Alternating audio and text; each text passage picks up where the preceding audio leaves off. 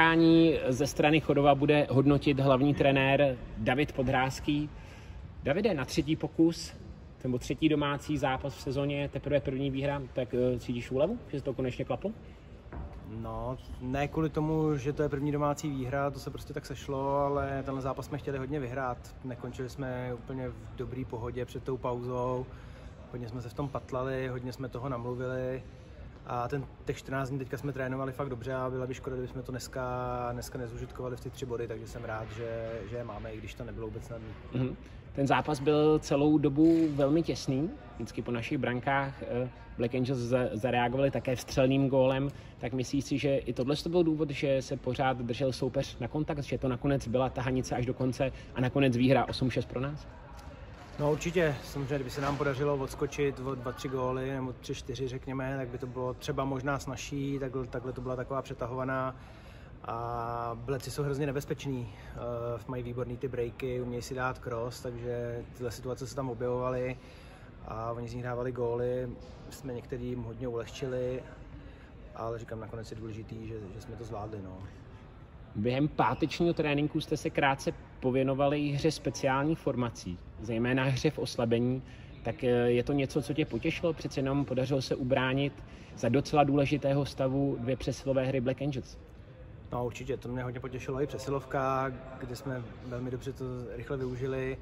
To oslabení my jsme zatím měli jako tragický, my jsme se pokoušeli o nějaký nový systém, jak se říká, cesta do pekla je dlážděna dobrými úmysly, takže to byl tenhle ten případ a teď jsme se dohodli s klukama, který to hrajou, že prostě jsme to zahráli trošku konzervativnějc, pokusili jsme se odrazit od silných stránek těch hráčů a myslím, že se to povedlo. Mm-hmm. Mužem utkání na naší straně byl vyhlášen Jiří Koutný. Si za něj rád potažmo za celou lajnu druhou, kterou tvoří právě bratrská dvojice bratrů Koutný, že to konečně prolomili, dá se říci, protože těch prvních pěti zápasech na, úvodu, na úvod sezony před koronapauzou to nebyla mnohdy příjemná podívaná. No jasně, jsem rád, protože dostávali hodně gólů, nedařilo se jim do útoku a dneska, dneska to vypadalo pěkně, prostě měli tam, měli tam hezký situace, přes to dávali, tvořili si ještě daleko víc, myslím, gólových situací a všichni tři útočníci hráli dobře. Vlastně Petr Majer taky se vrátil ve výborné formě z Finska a bránci to taky dobře podporovali, ať už tam byl ten nebo ten, takže mám zase velkou radost a věřím, že jim to dodá sebevědomí a budou pokračovat takhle. Utkání dle svých zvyk, zvyklostí trošku zpestřil náš obránce Jiří Bauer, trest na dvě minuty plus 10 minut navíc, eh, co jsem mu po utkání řekl. Eh, víme, že v průběhu zápasu, už když mohl hrát, tak si ho nenasadil.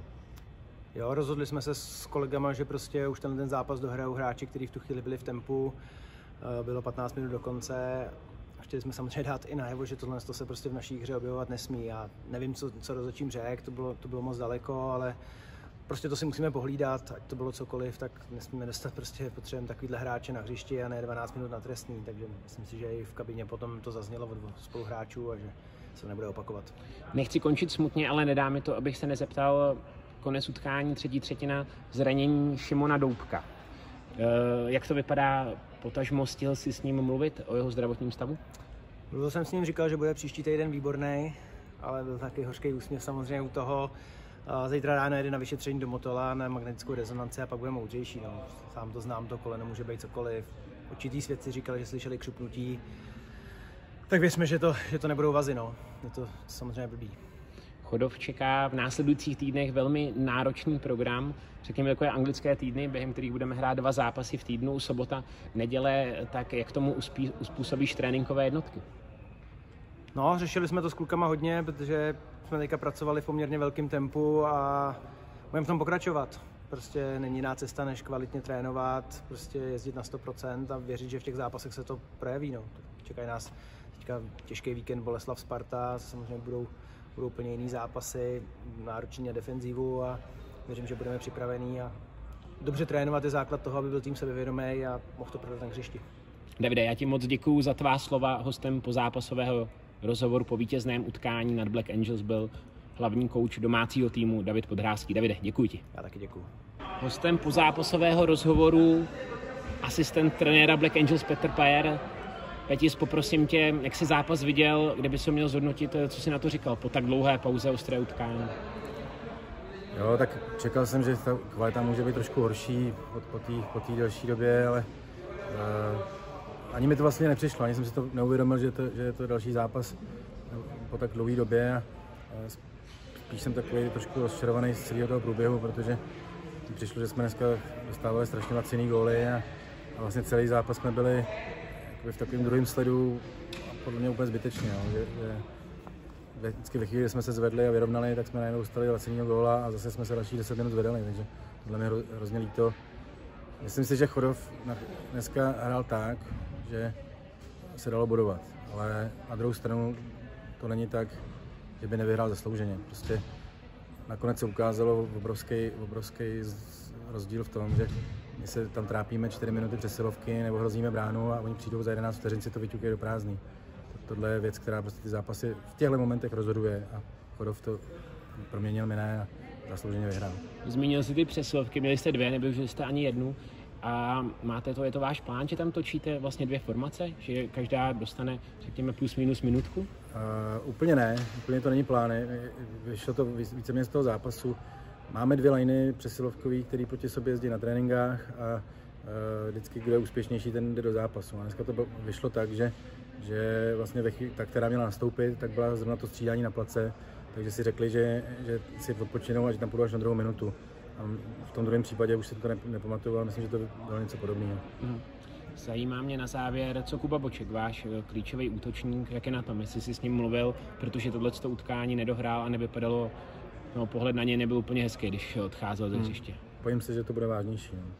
Má levý rameno, nevím, jestli jenom naražený, vykloubený, nevím. Uh, on sám, sám taky neví, co s tím je, takže pojede na vyšetření a budeme se modlit, ať to není nic vážného. Mm-hmm. Tak budeme držet palce. Petis, díky moc za rozhovor a hostem po zápasového rozhovoru byl asistent trenéra Black Angels Petr Pajer. Díky moc. Taky díky, čau.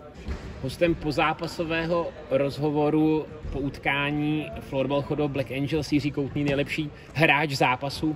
Jirko, zajímá mě po tak dlouhé době, mm, jak se ti hrálo? Jo, docela to šlo. Ono, sice jsme měli pauzu, kdy jsme ani nemohli trénovat, ale nějakým tréninku jsme se, jsme se věnovali, měli jsme nastavený nějaký plán a poslední dva týdny jsme byli v hale. Ten první byl trošku horší, bylo vidět, že, že na balonku je to slabší, ale ty tři tréninky, které jsme měli před tímhle zápasem v tomhle týdnu, myslím, že jsme hráli velice dobře, takže i to tempo bylo slušný, takže dneska už to Vnímal si, že neříkám, že by na nás chodili nějaké extra velké návštěvy, ale přece jenom dneska byly tribuny úplně prázdné, tak je to něco, co si, co si zavnímal během zápasu? Abych se přiznal, tak ani moc ne. Moc jsem to nevnímal. Prostě ta situace je taková, že jsem ty lidi nemůžou, buďme rádi, že vůbec můžeme hrát. Mm-hmm. Pojďme k tobě osobně. Fantastické představení, nejen teda tebe, ale celé vaší liny. Jsi rád třeba hm, i kvůli tomu, že před tou koronapauzou to trošku drhlo, nedařilo se vám a hned přišel první zápas a vygenerovali jste tolik branek? Jo, tak ono, dneska se to konečně natočilo do posud, co se týče naší liney, že jsme víc kolů dali, než, než jsme jich dostali, když ve finále to taky nebylo tak slavný, ale myslím si, že jsme odehráli asi, asi možná nejlepší zápas v sezóně a jsem rád, že, že jsme to otočili a že, že to nešlo zase za náma ten zápas, mm-hmm. jako to bylo na začátku.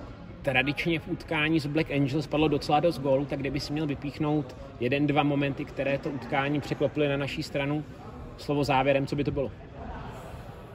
Tak mám pocit, že ve druhé třetině si vyrovnali na 3-3 a docela rychle jsme šli zase do vedení, nenechali jsme, nenechali jsme jako rozjet a, a otočit ten zápas a v zápětí mám pocit, že padl druhý. To si myslím, že bylo důležité, jsme se odskočili a do třetí třetiny jsme šli docela v klidu. Pak to bleci, myslím, se zase snížili na jeden, ale relativně si myslím, že jsme to měli pod kontrolou. Že byl to ten průběh utkání, vlastně cel, za celých 60 minut jsme neprohrávali s Back Angels. Důležitý určitě, že jsme měli celou dobu pod sebou a nebyli jsme pod žádným tlakem. Super, moc děkuji za rozhovor. Hostem pozápasového rozhovoru byl nejlepší hráč utkání proti Black Angels Jiří Koutný. Hostem pozápasového rozhovoru po utkání Chodov Black Angels nejlepší hráč hostů Matěj Boček eh, v utkání dva góly. Máte blahopřeju, byť to na body nestačilo nakonec, tak tvojí optikou, co to utkání rozhodlo? Takže první ti děkuju. A rozhodlo to naše, blbo, naše blbosti. Asi nerozehranost, což ale nemůžu se to vymlouvat, to máme oba dva týmy. Ale hlavně naše asi blbosti, co už, s čím se taháme od začátku sezóny. Už i minulou sezónu jsme to měli. Zbytečně dostáváme góly po našich, po našich střelených. to myslím, že bylo taky alfa omega celého zápasu. No mě se o tom psalo před zápasem. Minulé sezóně dva, dva vzájemné zápasy naše, 38 branek, dneska zase slušná nadílka. Tak čím to, že zrovna v našich utkáních padá tolik gólů? Jsme asi oba dva týmy dobrý do útoku, no. Nějak si to, a ta obrana asi skřípe na obou stranách. Ale s tím musíme něco udělat, no, oba dva týmy. Nějak se tam dokážu asi, jasně, no. Hodně jste si mohli v utkání pomoct dvěma přesilovými hrami, které vám rozhodčí pískly, nevyužili jste ani jednu. Ty jsi na tom place byl, tak eh, co jste mohli udělat jinak, nebo co tam drhlo? No, asi tam drhlo od první nahrávky všechno po zakončení. Nebylo to nic, nebylo nic sehraného moc. Bohužel jsme se však nedokázali k tomu dokopat na trénicích. Ta hokejka nám ještě furt drhne. Takže snad do dalších zápasů se na to povede zlepšit. No jako hráčem ovlivňuje tě nějak to, že na tribuně nesedí žádný diváci, nemůže se přijít podívat rodina, známý, prostě kvůli covidu musíme hrát před prázdnýma tribunama? Tak určitě zvláštní, ale že by to bylo něco extra, extra jako nepříjemného, že tady nejsou lidi, to ne. Víme, že to hrajeme pro lidi, kteří na nás koukají v televizi a věříme, že fandí u té televize a snažíme se udělat nejlepší výsledek tak či tak. Mhm. Mrzelo tě, zmínil jsem, dal si utkání dva góly, si třeba neskompletoval hetrik. Je to něco, čemu se vlastně upínáš třeba? Myslíš na to, když máš na svém kontě dva góly a ke zkompletování chybí jeden zásah? To vůbec ne. To já góly, to je úplně co, to nejde k sobě skoro. Takže já za dva góly jsem strašně šťastný a radši bych, radši bych nahrál na další dva, než bych dal hetrik. Stejně jako u Peti Sepéra zeptám se, eh, co brácha. Vypadalo to docela no. vážně to zranění. Samozřejmě mu držím palce, aby byl ready a jestli ty jako člověk, co je mu nejblíž, jestli jsi s ním mluvil, jak je na tom, jak se cítí. No vůbec jsem s ním nemluvil, protože jsem teďka vody do nemocnice, takže doufám, že to bude nejlepší, co nejlepší a snad jako brzy ještě uvidíme, no, zpátky. Děkuji moc za rozhovor. Hostem po zápasového povídání byl útočník Black Angels Matěj Boček. Máte díky. Děkuju. Čau.